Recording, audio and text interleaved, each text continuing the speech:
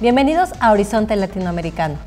Saludamos cordialmente a nuestro público de los países miembros del ILCE. ¿Cómo estás, Manuel? Muy bien, Gaby, muchas gracias. Los invitamos a que nos acompañen con lo más importante en la cultura, la ciencia y la educación de Latinoamérica. La industria espacial en Latinoamérica y el Caribe ha cobrado tal importancia en los últimos años que países como México ya son considerados para realizar eventos sobre este tema a nivel internacional. El Centro de Investigación Científica y de Educación Superior de Ensenada, CICESE, será sede del simposio sobre tecnología espacial básica ONU México. El encuentro científico, a realizarse del 20 al 23 de octubre próximo, contará con la presencia de instituciones de más de 60 países, lo que permitirá fortalecer alianzas estratégicas con la ONU, Latinoamérica, el Caribe y el bloque de países desarrollados. Este foro internacional busca promover el intercambio de experiencias entre expertos para facilitar que todas las naciones puedan contar con los elementos que permitan su participación en el uso pacífico del espacio y será la primera vez que este evento se organice en México, señaló Francisco Javier Mendieta Jiménez, director de la Agencia Espacial Mexicana AEM.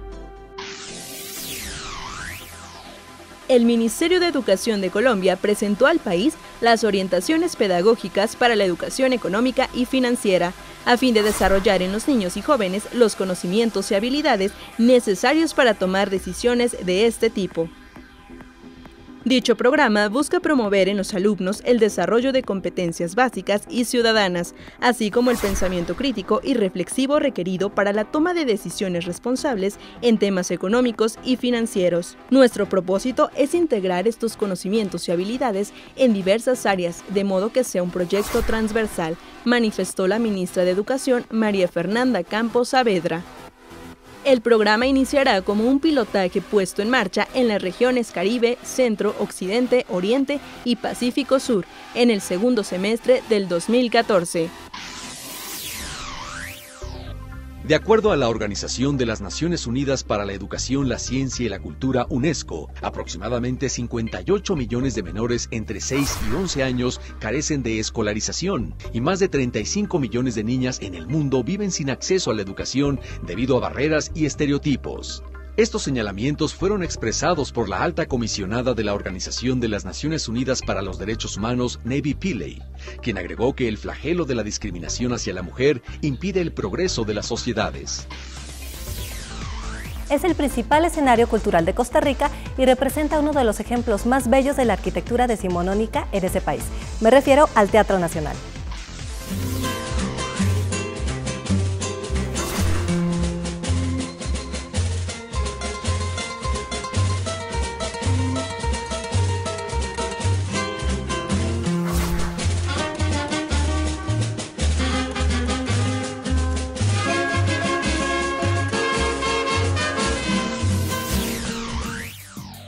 La Universidad Nacional Autónoma de México UNAM ha puesto en línea y con acceso gratuito la versión digitalizada de joyas fílmicas que pertenecen a su acervo a través de su portal www.filmoteca.unam.mx diagonal cine línea diagonal.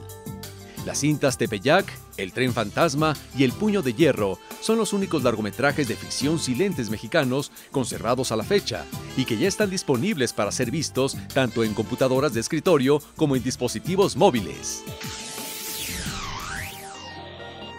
Un importante panorama del arte italiano es lo que ofrece al público la exposición Teoría de la Belleza, pintura italiana en la colección Sgarbi que el Instituto Nacional de Bellas Artes presenta en el Museo Nacional de San Carlos, en la Ciudad de México.